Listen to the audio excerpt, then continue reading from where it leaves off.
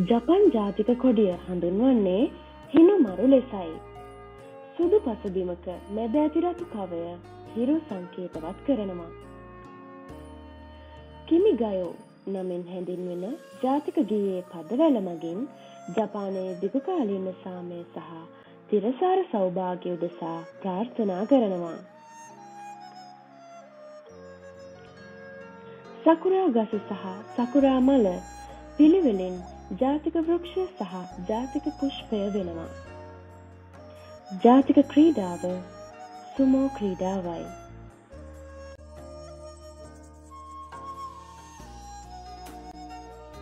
ජපානය ලෝකයේ ජනාකීර්ණ හා නාගරික රටවල් අතුර තිබෙනවා.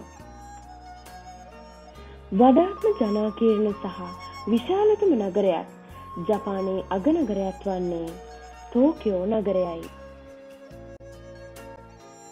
ජපානයේ ජනගහනය ආසන්න ලෙස මිලියන එකසේ විසි හතක් පමණ වන අතර එය ලෝකයේ එකොළොස් වන ස්ථානය ගන්නවා. මෙයින් බහුතරයක් ජපන් ජාතිකයන් සුළුතරය චීන කොරියා සහ වෙනත් ජාතීන්. ඉතිහාස ග්‍රන්ථවල ඊසෝ ලෙසත් වර්තමානයේ අයිනු ලෙසත් හැඳින්වෙන ආදිවාසීන් කොට්ටාශයක් ජපානය තුළද ජීවත් වෙනවා. අධිරාජ්‍යයකු සිටින ලෝකයේ එකම රට ජපානයයි. අධිරාජ්‍යයට සැබෑ බලයක් නොමැති නමුත් ඔහු රාජ්‍යයේ සංකේතය සහ ජනතාවගේ එකමුතුකමේ සංකේතයක් ලෙස ගෞරවයට පාත්‍ර වෙනවා. පළමු අධිරාජයා ජිම්මු අධිරාජයයි.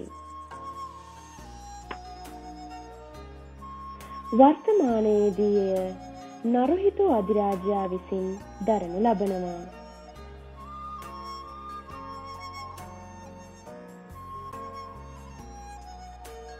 වර්තමාන අගමැතිවරයා වන්නේ ශින්සෝ අබේ මහතායි. ජාතික භාෂාව ජපන් භාෂාව වන අතර ජපන් ජාතිකයන්ය නිහොංගො ලෙස හඳුන්වනවා.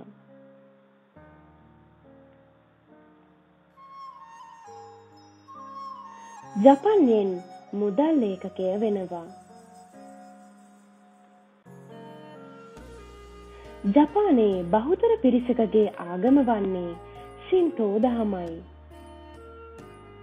ඊට අමතරව බුදු දහම සහ කතෝලික දහම ව්‍යාප්තව පවතිනවා. ජපානයේ සාම්ප්‍රදායික ඇඳුම වන්නේ කිමෝනෝවයි. සාමාන්‍යෙන් සේදවලින් සාධන කිමෝනෝවට විශාලත් ඇති අතර උරහිසේ සිට දෙපතුල් දක්වා දික්වෙනවා. බඳ වටා ඔබි නමැති පලල් පටියක් බඳින අතර ලීසිරෙප්පු හා මේස් භාවිතා කරනවා. වර්තමානය වන විට කිමෝනෝව සිචිකුසන් හිනමත්සුරි. සේජිනොහි. උපාධි උත්සව.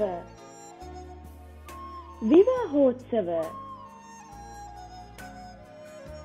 අවමංගල්‍ය උත්සව වැනි උත්සව අවස්ථාවන්ට පමණක් සීමා වෙලා තියෙනවා. ජපානය මුහුදෙන් වට වූ රටක් වන නිසා මුහුදු ආහාර බහුලව දක්නට ලැබෙනවා. ඒ අතර සුෂී සශිමි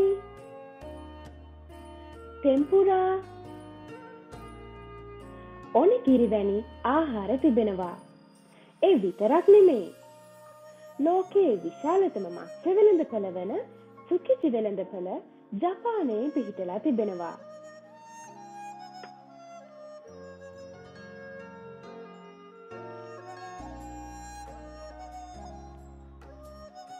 ප්‍රධාන කෘෂිකාර්මික නිෂ්පාදනය සහල් වන අතර ආහාරයට ගන්නා සහල් වැඩි ප්‍රමාණයක් නිපදවන්නේද ජපානයේමයි. හිමේජි මාලිගය. ඉත්සකුෂිම සිද්ධස්ථානය හිරෝෂිමා. බොනින් දූපත් ශිරකවා ඉතිහාස ගම්මානය. ෆූජිකන්ද ඇතුළු ලෝකුරුම විසි තුනක් ජපානය තුළ පිහිටලා තියෙනවා.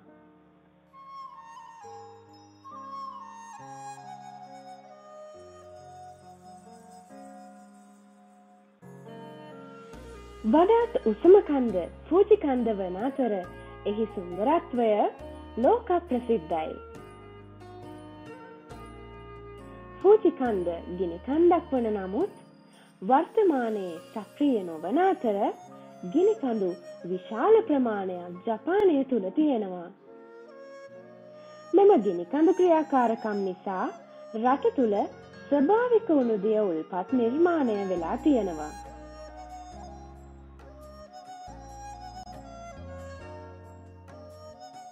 ජපානය ස්වභාවික විපත්වලින් වැඩිපුරම පීඩාවට පත්වන රටක්. සුලිසුලං භූමිකම්පා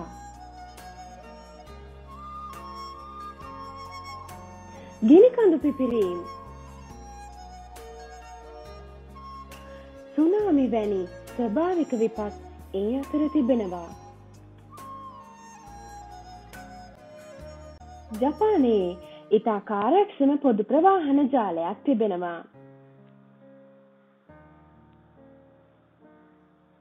මහාමාර්ග දුම්රිය මාර්ග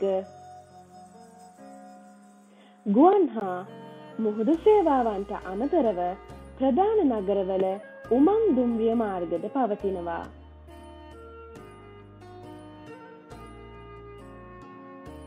එමෙන්ම ශින්කන්සන් නම් වූ අධිවේගී දුම්රිය සේවා පැයට කිලෝමීටර් දෙසිය හතලිහේ සිට තුන්සිය විස්සක වේගයෙන් ධාවනය වෙනවා.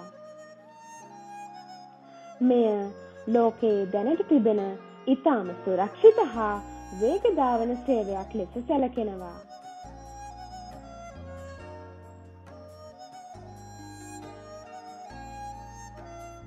ජපානයේ සෑමදුම්රිය සේවාවක්ම පිරිසිදු මෙන්ම නියමිත කාලවේලාවට ධාවනය වීම නිසා ලෝක ප්‍රසිද්ධයි.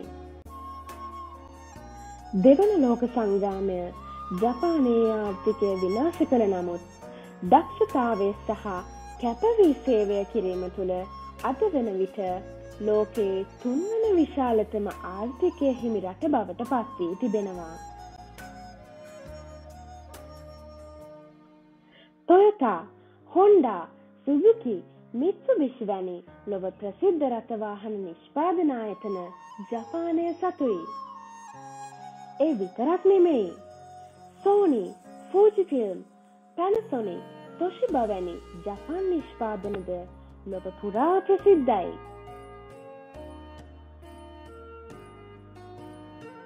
හොන්ඩ සමාගමේ නිෂ්පාදනයක් වන අසිමෝ නම් රොබෝ මිනිසා දෙපයින්න විදින භාෂාව කතා කළ හැකි රොබෝ කෙනෙකු වන අතර ජපන් තාක්ෂණය ලෝකයේ මුල් තැනටේමට එය හදිම නිදසනකි.